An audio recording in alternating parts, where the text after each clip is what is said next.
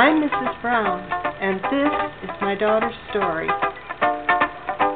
Mrs. Brown, you've got a lovely daughter. I am Mrs. Brown's daughter, Donna. The youngest child of Jim and Betty Brown. I had a wonderful childhood and teenage years, and then fell in love in college, and an exciting life for one became a fruitful, fulfilling life for two, and for the two sons who completed the family. Makes a bloke feel this was my life until my middle 30s. My life with Parkinson's disease actually began while watching this video footage. I joined my young sons jumping on bubble wrap. Look how I held my left arm close against my body. I could see that I definitely had a problem. The neurologist told my husband and I He told us point blank, um, Donna, you have Parkinson's disease. I didn't know enough about it to be scared. Really didn't know what that meant.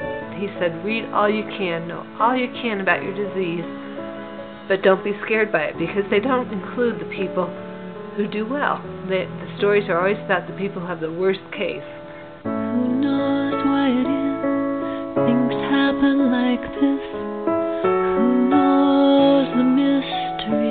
Mystery? Affects both the mind and the body, and those of family and friends, too. I just wanted to be Brad and Spencer's mom, but I soon became a woman with Parkinson's disease. I struggled to remain the same me, but I couldn't. Dark winds they may blow. Baby, don't let go. my entire life, she's never let Parkinson's impact her in any way or inhibit what she can do, which I've always admired. Made the family closer. We never looked at her differently. It just made us more conscious and aware of everything that was going on with her. We dealt with it. We dealt with it as a family. They never knew a different Donna than they knew with Parkinson's disease. Baby, I love you so. I was taking a total of 26 various PD pills per day in six daily doses, and they weren't doing the job. My illness had progressed to the point that it was time to make a scary decision, a surgical decision that could help my quality of life. The surgery is called DBS, Deep Brain Stimulation, a high tech surgery wherein electrodes are implanted in the brain to offset the debilitating effects of Parkinson's disease. Dr. Kumar told her, Look, if you were my sister, I would recommend that you have DBS. Uh, And that was kind of the aha moment for us. I wanted help. I wanted to be me again. I was scared, honestly. Um,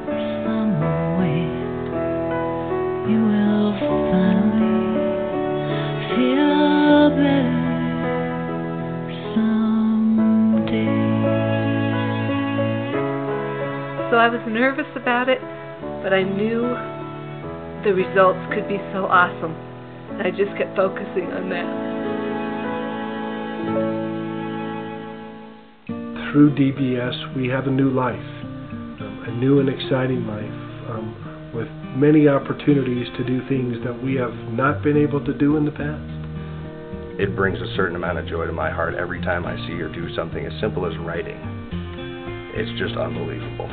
Just small, minuscule tasks that other people don't really think about she could do uh, with ease after not even being able to do them for so long.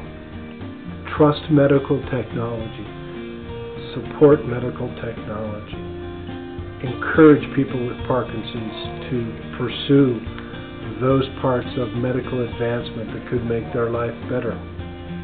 I've seen firsthand the results of biomedical engineering and basically just the medical field in general. And I'd love to be a part of that, especially if I could help my mother.